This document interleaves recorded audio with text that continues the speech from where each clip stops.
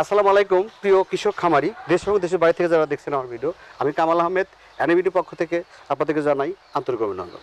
আমি আজকে আসছি লালমনের সদর, এখানে আসমা বেগম, যিনি আসলে না বললেন না, উনি এখানে প্রায় শুরু থেকে ওনার যে দিন থেকে বাসায় বিয়ে হয়ে আসছে, সেখান থেকে তিনি তার স্বামীকে একটা খামার দিয়ে হেল্প করে, তার এক ছেলে, এক মেয়ে। কিন্তু তিনি এই খামার থেকেই সব কিছু পরিচালনা করে। চলুন আমরা সেই আসমা বেগমকে দেখি আর তার খামারটি দেখেছি কীভাবে একদম ছোট থেকে একদম একটা বা দুটো বা তিনটা গরু থেকে আজ তার অনেকগুলো গরু। চলুন আমরা সেই আসমা বেগমকে দেখি আর এখানে চেষ্টা করি যে আসলে একটা খামার থেকে দেখে দেওয়া লাগবে। কত কিছু করা সম্ভব। চলুন আমরা সেই আসমা বেগমের কাছে দেখি।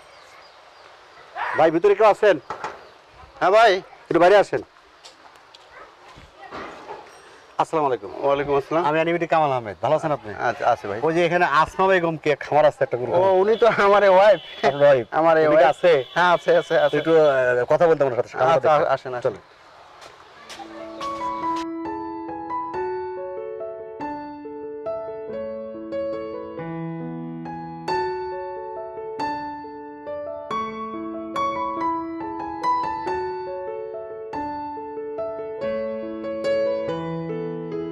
আসসালামু আলাইকুম। ওয়ালাইকুম আসসালাম। ভালো আছেন? হ্যাঁ আপনার আসমা খাতুন? হ্যাঁ আসমা হোসেন। হ্যাঁ আমি আসমা হোসেনে আর কি। আচ্ছা এই যে আপনি খামার শুরু করছেন কতদিনের খামারটা বয়স? খামারের বয়স মনে করো যে বিদেশি গরু খামারের বয়স আমার প্রায় পঁচিশ ছাব্বিশ বছর হলো। আচ্ছা আচ্ছা আচ্ছা। মোটামুটি গৃহিণী নাকি আর অন্য কোনো চাকরি সার্ভিস করেন? না আমি গৃহিণী। পুরোপুরি গৃহিণী আর অনেক কষ্ট অভাবের উপরে ছিলাম। আচ্ছা। যে একা একজনের রোজগার মানে বাবার বাড়িও সেরকম আর্থিক অবস্থা নাই শ্বশুর বাড়িতেও সেরকম নাই। এখন পাশাপাশি ওনার পাশাপাশি দাঁড়ার জন্য আমি এই জিনিসটা আর কি মনে মনে ভাবছি যে না এটা দিয়ে আমাকে কিছু একটা করতে হবে। আর সবার প্রথমে আমার মা একটা আমাকে গাভী দিছিল। আচ্ছা আচ্ছা। দেশি গাভী। আচ্ছা, আচ্ছা, এবং আচ্ছা। ওই দেশি গাভীটার থেকে আমার বেশ কিছু মানে আমার বিয়ে হওয়ার এই গরুর পিছে আমাকে আচ্ছা আচ্ছা আচ্ছা। ঢোকা। আচ্ছা। তো দেশি গরু থেকে এরপরে ডাক্তাররা আসে ভ্যাকসিন দেওয়ার জন্যে হয়তো কৃমির ডোজের জন্যে।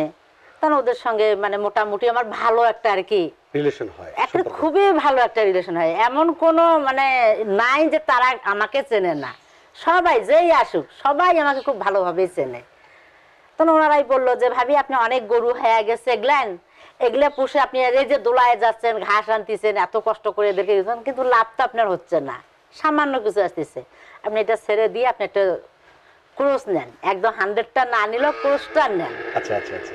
ওটার থেকে ওনাদের পরামর্শ নিয়ে আমার বাড়িওয়ালার সাথে কথা বললাম যে এটা এটা করি আমরা। সেও আমার সঙ্গে মত একমত হলো।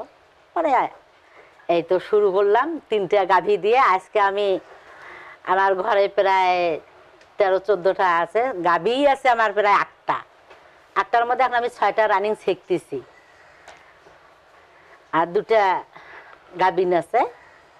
এটা দিয়েই মনে করেন যে এই গরুর দুধ দিয়ে আমার ছাগলের খাবার হচ্ছে, আমার কবুতরের খাবার, মুরগির খাবার, আমার ছেলে মেয়ে দুধ খাচ্ছে ভালোভাবে, আমিও নিজে, এবং আমার আত্মীয় স্বজন যারা আছে, সবার বাড়িতেই আমি দুধ দিই। আচ্ছা আচ্ছা আচ্ছা। দুধ, পিওর দুধ। একদম খাঁটি দুধ। ঘিও মাঝে মাঝে বানাই আমার সন্তানদেরকে আমি খাঁটি ঘি খাওয়াচ্ছি এখন। আর আমার স্বামীর পাশে আমি অনেকটাই গাভী দিয়ে অনেকটাই তাকে আমি হেল্প করি। যা যে আমার মেয়ে রাজশাহী ভার্সিটিতে অনার্স কমপ্লিট করল আমার মেয়ের পিছে টাকা পয়সা খরচ সেও যতটুকু দেয় আমিও দেই। যে না তালের সাথে যুগের সাথে যেন আমার সন্তানরা আমরা কি হয়েছে হয়েছি। আমাদের জীবনে কি হয়েছে হয়েছে। আমি কিন্তু লেখাপড়া করতে পারি নাই। ক্লাস ফাইভে উঠে বিয়ে হয়ে গেছে। বিয়ে হওয়ার প্রায় তিরিশ বছর বেশি হবে। হ্যাঁ। তখন থেকেই কিন্তু আমার আশা যে তার পাশে দাঁড়িয়ে তাকে একটু মানে আমার সংসারটাকে যেন আমি আমার নিজের মনের মতন যেন করতে পারে। করতে পারি। কারণ আমি তো চাকরি করতে পারব না। চাকরি করলে তার আমার লেখাপড়ার দরকার আছে। আমি তো লেখাপড়া নাই। যে আমি যে চাকরি করব আমার তো লেখাপড়া নাই। তা আমি কীভাবে তাকে হেল্প করতে পারে হেল্প করব। সেই জন্য আমি নিজে নিজে ওরাও আমাকে একটু বুদ্ধি পরামর্শ দিল। ওদের বুদ্ধিটা আমার একটা কাজে লাগল। আমারও এটা একটু কাজে লাগল। এই তাই যে আমি অনেক লাভবান। প্রায় দুই তিন দন মাটিও নিছি আমার এই খামার থেকেই। খামার থেকেই। এবং কিছুদিন আগেও একটা মাটি নিলাম প্রায় দুই দিনের মতন। আমাদের দিকে তো দোন হিসাব দুই দিনের মতন। সেখানে দেখা গেলো যে আমার স্বামী জুল দিছে চার আনা আমি দিছি আট আনা। শুধু আমার এই গরুর থেকেই এই গরুর খামার থেকেই গরু বিক্রি করি এইভাবে চলছে মেয়ে ছেলে এখন যে ইয়ে হলো এখন ছেলে দুটো একটা ছেলে একটা মেয়ে। একটা ছেলে একটা মেয়ে। মেয়ে বড় ছেলে ছোট। মেয়ে অনার্স কমপ্লিট করলে এখন মাস্টার্সে দেওয়ার চিন্তা ভাবনা করতেছি। মেয়ের বিয়ে হয়ে গেছে। আর ছেলে এবার এসএসসি দিল। ইন্টারে ফার্স্ট ইয়ারে ক্যান পাবলিকে দিছি। এখন চিন্তা, ওর আব্বু বলতেছে যে ছেলেকে যে ক্যান পাবলিকে দেবো, ওখানে তো অনেক খরচ। প্রচুর খরচ কিন্তু ওখানে। তাহলে তুমি চিন্তা করো না, আমি আছি না। এই যে জিনিসটা, যে তুমি চিন্তা করো না, আমি আছি না।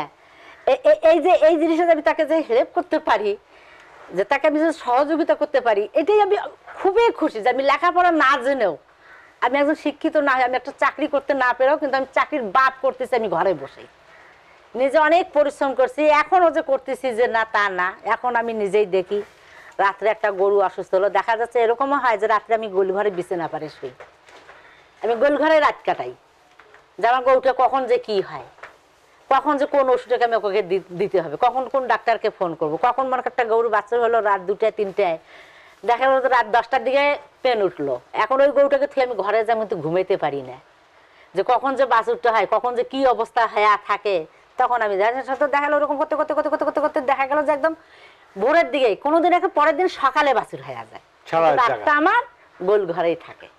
এই যে এদের সঙ্গে আমি কথা না বলে এই যে গরুর সঙ্গে ছাগলের সঙ্গে যখন আমার মনটা খুব খারাপ হয় যে কোনো বিষয় তখন আমি এসে সত্যি এদের সাথে কথা বলি ছাগলের সাথে কথা বলি হাঁস মুরগির সাথে কথা বলি। তখন আমাকে নিজে নিজে খুব ইজি মনে হয় খুব ফ্রি মনে হয় যে হ্যাঁ এখন আমার ভিতর থেকে একটা মনে হয় যে কি যেন সরে গেল। এদের সাথে যখন কথা বলি। একা যখন থাকি, হয়তো দেখা গেল যে মেয়ে বাইরে থাকতেছে, ছেলে চলে যাচ্ছে। যারা কাজ করে, তারাও চলে গেল। আমি একাই তখন ঘরটার ভিতরে থাকি। থাকতে থাকতে বিভিন্ন চিন্তা আসে। তখন উঠে আসে যে ঘরে ঢুকি, গোল ঘরে ঢুকি বা ছাগলের ঘরে যাই। ওদের সাথে কথা বলে আমি একদম ফ্রি হয়ে যাই। আমি জানি না যে আমার মরার আগ পর্যন্ত আমি এদেরকে ছাড়তে পারব না। এরা আমার থাকবেই। তারপরে ছেলের কি করবে? সেটা ছেলের ব্যাপার। কিন্তু আমি যতদিন বাঁচিয়ে আছি ততদিন আমি এদেরকে ছাড়বো না।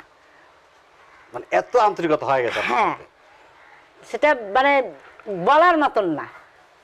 যে আমার সন্তানরা যেরকম আমার কাছে আমার এক ছেলে এক মেয়ে আমার কাছে যেরকম আমার কাছে এই জিনিসগুলো কেন জানি সেরকম।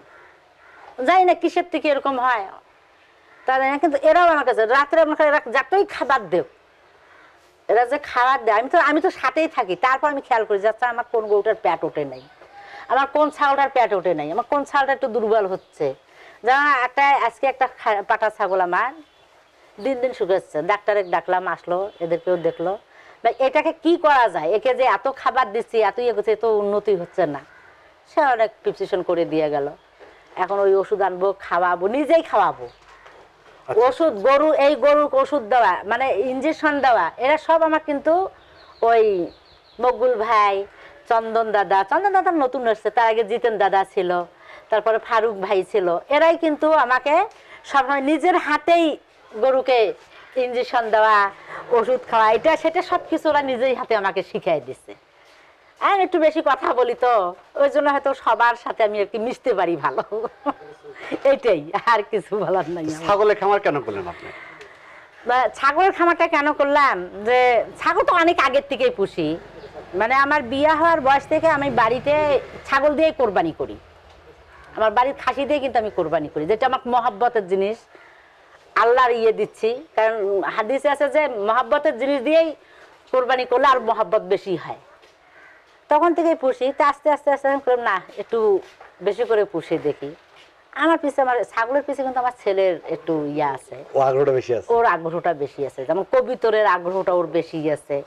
আগে কম ছিল এখন ছেলের কারণে আস্তে আস্তে হয়তো একটু বেশি করে ফেলছি। আমার ছেলেটা কিন্তু অনেকটা আমারই মতন হয়েছে। ও পশু পাখিকে গরুকে খুব ভালোবাসে। মেয়েটা না। মেয়েটা একটু খিটখিট টাইপের তো। মেয়েটা না কিন্তু ছেলেটা কিন্তু আমার আপনার মধ্যে হয়েছে? হ্যাঁ। ও গরু খুব ভালোবাসে মানে পশু পাখিকে খুব ভালোবাসে। আর ভাই কেমন? ভাই? ও তো ও করে কারণ ও হেল্প না করলে তো আমি ফের পারতাম না। তার সাপোর্ট না থাকলে আমি কখনোই কিন্তু এত দূর আসতে পারতাম না তারও সাপোর্ট আছে। এখানে সবারই সাপোর্ট আছে দেখেই আমি আজকে কিন্তু এখানে আসতে পারছি। সে যদি মনে করে সাপোর্ট সেও রাত্রে আসে বাইরে পরিশ্রম করে যে রাত্রে আসে আসার পর কিন্তু গোল ঘরে ঢুকবে। গোল ঘরে ঢুকবে কোন গরুটা কীরকম আছে? গোবরটার মধ্যে শুয়ে আছে নাকি গোবরটা একটু সরাই দিবে? সকালে উঠে জোবাটা কাটিয়ে দিবে। সেও করে। ভাই নিজে করে? হ্যাঁ এটাও সে করে। আমরা নিজেরাই সবাই আমরা নিজেরাই আর কি করি। তার মধ্যে একটু আমি আর কি বেশি। ও বাইরে কাজ করে ভাই চাকরি করে সার্ভিস করে। হ্যাঁ। উনি কিসের সার্ভিস করে? উনি বেসরকারি মানে মেলে আছে। আচ্ছা আচ্ছা হ্যাঁ মেলে ম্যানেজারি আছে। তো অনেক দিন থেকে সেই ওখানে। এইভাবেই আর কি আমার জীবন।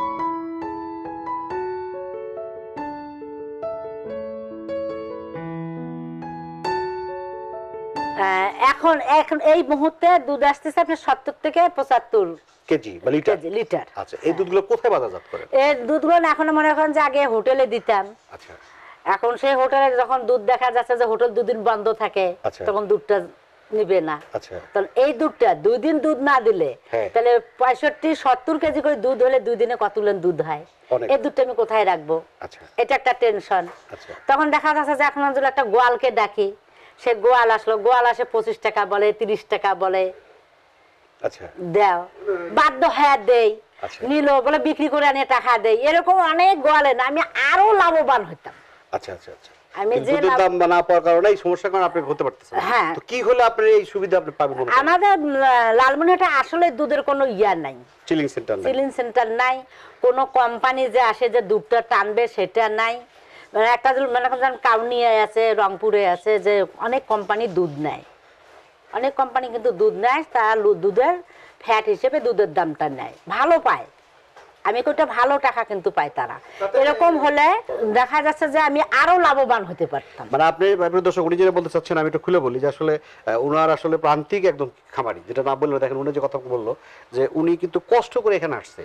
একদম তৃণমূল থেকে একদম না বললেন এত কষ্ট করছে যেটা বুড়িটাকে শুনতে পারলেন যে আসলে কষ্ট করে এখানে আসার পরেও সেটি টিকে আছে জাস্ট তার উনি ভালোবাসার কারণে। যদি কেউ, ওনার যদি চল্লিশ টাকা লিটার দুধ বিক্রি করে, আপনি আপনারাই বলেন দর্শক এটা কি একটা খামারে টিকে থাকা সম্ভব?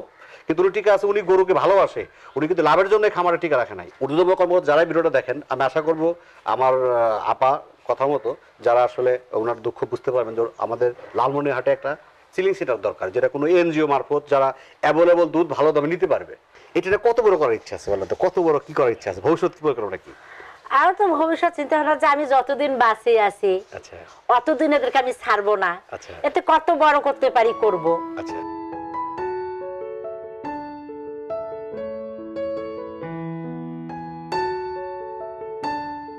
হ্যাঁ হ্যাঁ। শুরু করার পরে কি আপনার কোনো গরু কেনা ছিল না সব আপনি ওখান থেকে আসছে ওখান থেকেই আসছে। ওই বাছুর থেকেই? হ্যাঁ। আপনি একটা গরু এক্সট্রা ইনভেস্ট করেন নাই? না। আচ্ছা এখন ওইটাকে আপনার কয় বয়স কত এটার?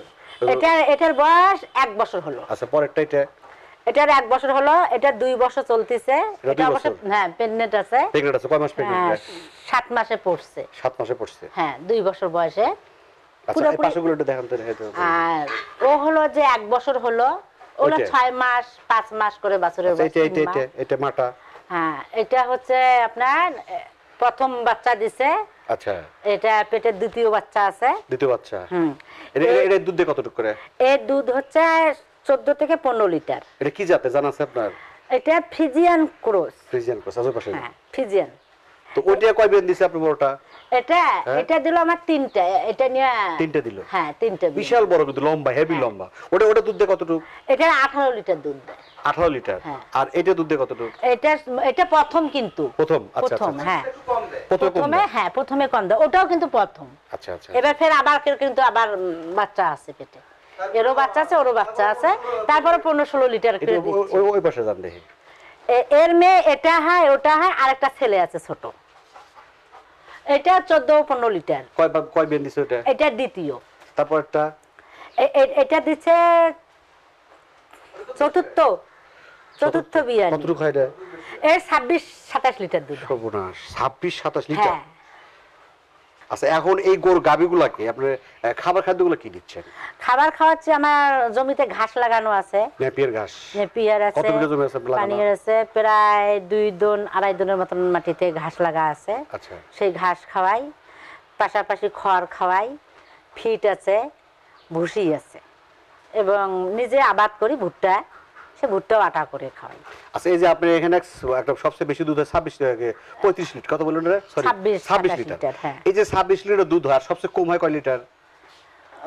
বাকি গাভীগুলো সবচেয়ে কম দুধ হয় কত- লিটার? ছাব্বিশ লিটার সবচেয়ে বেশি হয়? বেশি আর হয়। সবচেয়ে কম কত লিটার হয়? ষোলো লিটার। ষোলো লিটার আচ্ছা। হ্যাঁ। এই যে ছাব্বিশ লিটার ষোলো লিটার পার দুধের কমে খাবার খাদ্য কি একই মাপ দেন? না। আচ্ছা কেমন একটু? খাবার ওকে বেশি দিতে হবে। ও যার দুধ বেশি? তাকে খাবার বেশি দিতে হবে। আচ্ছা কতটুকু বেশি দিতে হবে? কীভাবে তুলনামূলক ভাবে দেন? দুধের মনে করেন যে দুধের দুধের থেকে তো ক্যালসিয়ামটা বাইর হয়ে আসে। আচ্ছা আচ্ছা।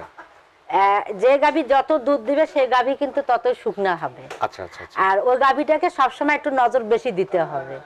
কারণ না দিলে গাভীটাকে পড়ে যাবে মাঝে মাঝে ক্যালসিয়াম স্যালাইনও দিতে হয় কারণ দুধটা বেশি দেয়। ওই জন্য বোঝা যায় যে এই এই গাভীটা আমার দুধ কম দিচ্ছে। এর খাবার এই দুধের হিসাবে এতটুকু খাবার দিলেই এই যথেষ্ট। আর এই দুধ বেশি দিচ্ছে একে একটু খাবার বেশি দিতে হবে। তো ওকে ওই খাবারটা আমাকে তার বডি হিসেবে, তার দুধ হিসেবে, তাকে আমি অতটুকুই খাবার আর কি প্রিয় দর্শক, যে ভিডিওটা দেখলেন, আসমা বেগম, ইনি একজন বাংলাদেশে মনে করি আমি একজন সফল মহিলা। যিনি দেখেন সংসারের তার স্বামীর পাশাপাশি অর্থনৈতিক যত সহযোগিতা লাগে তিনি করে থাকেন। আর এটা আসলে আপনারা যারা বাসায় বসে আছেন, বাড়িতে বসে আছেন, তারা বসে না থেকে একটা বা দুটা গাভী দিয়ে শুরু করেন। কারণ শুরু করে আপনি নিজে স্বাবলম্বী হন আপনার স্বামীকে হেল্প করেন বা ছেলে মেয়ে লেখাপড়া করে দিচ্ছেন, সেখানে খরচপাতি আছে, সেগুলো করেন। ওনাকে দেখে আপনারা শেখেন। প্রিয় দর্শক আজকে ভিডিও পর্যন্তই। আপনার আশেপাশে কোনো সফলতা বা ব্যর্থতা গল্প থাকলে আমাকে জানান, আমি কামাল আহমেদ শুরু যাব সেখানে। আর এখন আমার চ্যানেলটা সাবস্ক্রাইব, লাইক বা শেয়ার করেন নাই, অবশ্যই সাবস্ক্রাইব করুন, লাইক করুন, শেয়ার করুন। আমার সাথে থাকার জন্য আপনাদের সবাইকে ধন্যবাদ।